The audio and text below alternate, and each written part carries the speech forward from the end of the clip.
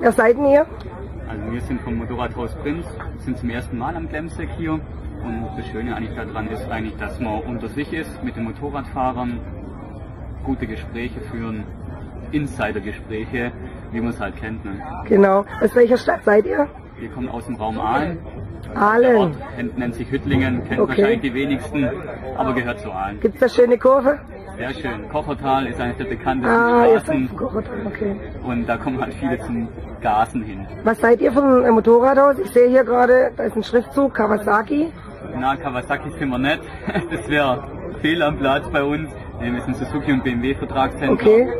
Ja, haben uns spezialisiert auf Sonderfahrzeugen, Umbau, Suzuki speziell. Also auch wenn einer sein, ähm, zum Beispiel sein GSX-R 1000 nochmal ein bisschen andere Rasten haben will oder genau, Federbein, Auspuff, Ja, Tuning auch, Ja, Motortuning. Tuning, Motortuning. Ah, okay. Ja. Das kann ja nicht jeder. Nee, wenig. Weil vor allem an den neuen Maschinen brauchst du ja nicht bloß einen Schraubenzieher.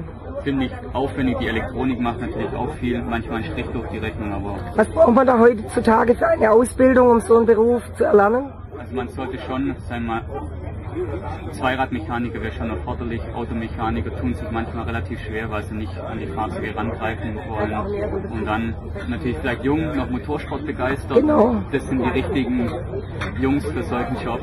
Und die tun dann in den Spezialausbildungen, denn vom jeweiligen Typ lernt man dann die Ganz Elektrosachen genau, noch. So. Dann in den Okay. jeweiligen einzelnen Betrieben und in der Schule werden sie schon eigentlich vertieft reingegangen. Mhm. Aber wie gesagt, dann eigentlich direkt im Betrieb. Jeder Betrieb spezialisiert sich irgendwo anders. Mhm. Kriegen sie dann halt die richtige Kenntnis nochmal. Okay. Und seid ihr manchmal auch auf der Rennstrecke zu sehen oder zu Wir sind oft finden? auf der Rennstrecke. Ah, okay. Ja, also wir gehen so zwei bis drei oder viermal im Jahr auf die Rennstrecke, auch mit Kunden Mhm. zusammen. Und wir nehmen auch Motorräder mit, wo sie dann auch fahren können, von uns gemachte Motorräder. Das ist ja cool. ja, Sind die denn auch versichert, ich damit fahre? Ja, Und habe ich nur eine Selbstkostenbeteiligung? genau. Wie beim Das hört sich aber schon mal gut an. Selbstkostenbeteiligung und dann passt es. Cool. Ähm, darf ich noch nach, mal nach eurem Namen fragen? Also ich bin der Peter, Ja. ich bin unser Werkstattmeister, der Marco. Okay, jetzt mache ich noch einen Schwenker vor euren Stand und vielen Dank fürs Interview, kein gell? Danke auch, ciao.